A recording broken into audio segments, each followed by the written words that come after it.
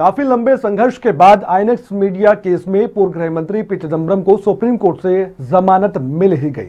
CBI के case में P Chidambaram को एक लाख के निजी मुचलके पर जमानत मिली है।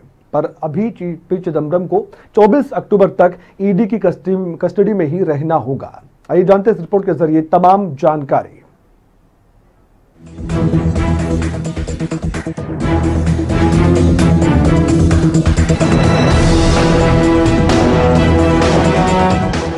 सुप्रीम कोर्ट ने सीबीआई की तरफ़ से दर्ज किए गए आईएनएक्स मीडिया भ्रष्टाचार मामले में पूर्व वित्त मंत्री पी चिदम्बरम को जमानत दे दी है।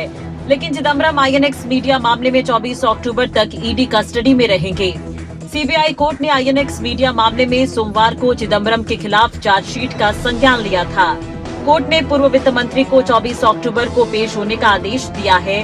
अदालत ने इसके अलावा आरोप पत्र में नामित सभी आरोपियों के खिलाफ समन जारी किया है। हालाँकि उनकी पेशी की तारीख का ऐलान बाद में किया जाएगा। आईएनएक्स मीडिया केस में कब कब क्या हुआ? 2007 विदेश से 305 करोड़ रुपए में अनियमितता का आरोप। एफआईपीबी की मंजूरी हासिल करने में अनियमितता का आरोप। 15 मई 2017 को सीबीआई ने प्राथमिकी दर्ज की।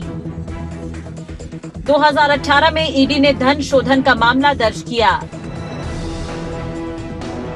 सीबीआई ने पूछताछ के लिए वरिष्ठ कांग्रेस नेता पी चिदम्बरम को समन किया। 30 मई को चिदम्बरम ने दिल्ली हाई कोर्ट में याचिका दायर की। सीबीआई ने दर्ज भ्रष्टाचार के मामले में अग्रिम जमानत का अनुरोध किया। तेईस जुलाई चिदम्बरम ने ईडी निदेशालय के धन शोधन मामले में अग्रिम जमानत के लिए हाईकोर्ट में लगाई गुहार। 25 जुलाई को हाईकोर्ट ने दोनों ही मामलों में गिरफ्तारी से उन्हें अंतरिम राहत दी। 25 जनवरी 2019 को हाईकोर्ट ने दोनों ही मामलों में चिदम्बरम की अग्रिम जमानत याचिका पर अपना फैसला सुरक्षित रखा।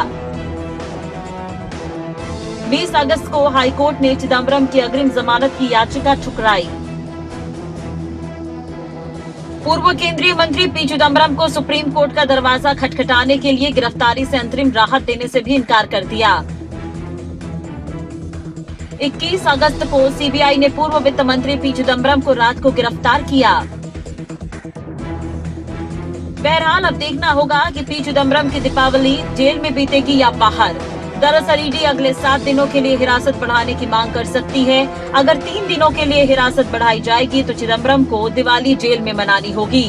ब्यूरो रिपोर्ट, खबरें अभी तक।